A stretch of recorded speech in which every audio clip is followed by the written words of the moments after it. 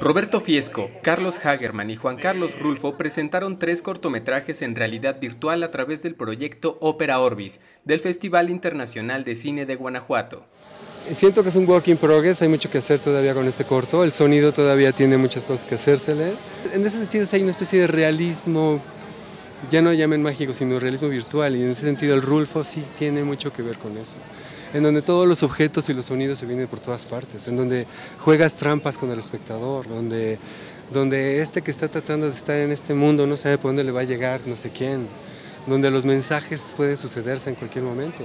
Ya no es nada más un cine tradicional donde tienes tú que construir con la narrativa, eh, que también es todo un reto, sino que además de esa narrativa y la manera de utilizar a tus personajes y la historia, además tienes todo este espacio.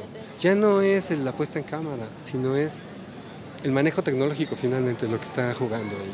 El Teatro Juárez fue el lugar del estreno de tales proyectos, sin embargo el concepto de sala de cine tuvo otro significado, ya que el espectador tiene que colocarse un visor de realidad virtual y audífonos, convirtiendo la experiencia en algo íntimo y personal. Además de que son ellos quienes deciden hacia dónde mirar en las diferentes historias, ya que la acción ocurre en 360 grados. El formato de realidad virtual es más una experiencia que un cuento en una pantalla. Es estar en un lugar y ver qué pasa en ese lugar.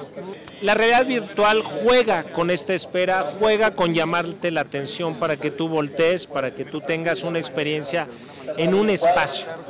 Con información de Verónica Pérez e imágenes de Enrique Romero, enviados Notimex.